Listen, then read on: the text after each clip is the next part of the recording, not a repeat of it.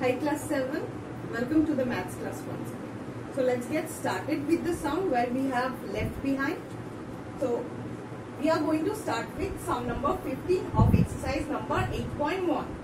Now in this term, we have to find the like terms. Okay, so there are four terms given. We have to find the like terms. Now we have known what are the like terms, right? Those kind of terms which are just alike to each other. Okay, so look at this.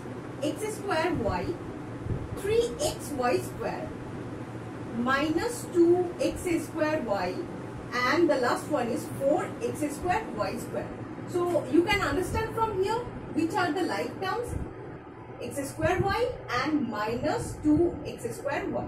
Okay, so here we are going to write it down x square y and minus 2 x square y.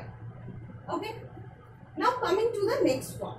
Now in our last class we have learned about the polynomials and how to find their degrees.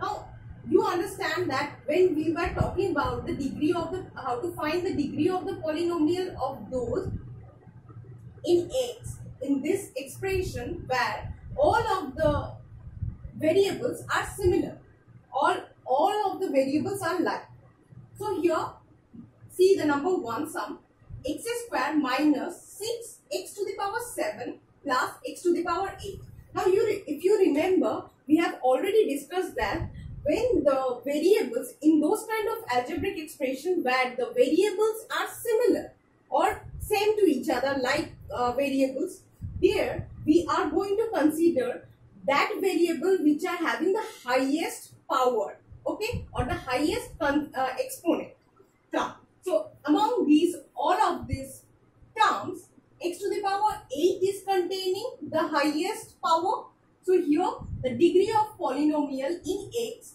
will be 8 okay now coming to the number 3 it can be a bit confusing so I have taken this. Now look at this. Only minus 2 is given. Now you have to find the degree of polynomial in x. So there is no x out here.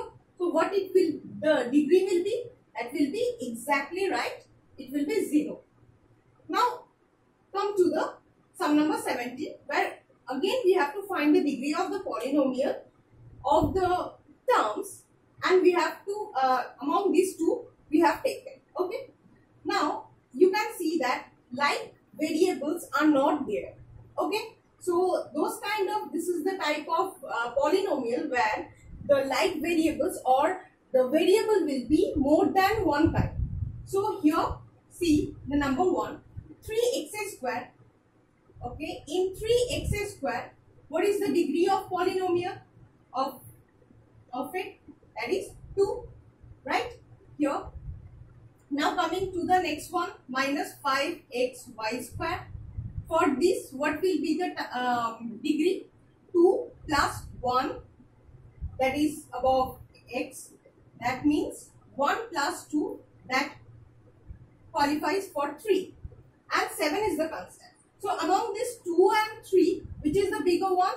3 is the bigger one. So here, the degree of degree will be 3. Alright. This is how we find. Now coming to the, let's do another one. Number 3. Here once again we are going to consider each of the terms first. 2x to the power 3 here. In, in this also the degree is 3. 5xy cube.